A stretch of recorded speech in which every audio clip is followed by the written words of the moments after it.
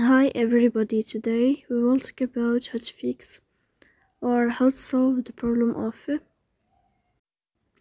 how to fix or how to solve not opening on the application of Clue. You will go to settings, then you can click on apps, default apps, app settings. On above you can search about Clue and you will answer. Here you can click on force stop and you can click ok. Then you will enter to the window of storage. Here you can click on clear cache. In the end you can turn off your wi-fi and you can turn on your wi-fi again to fix that problem. So please don't forget to support us by like and subscribe. See you next time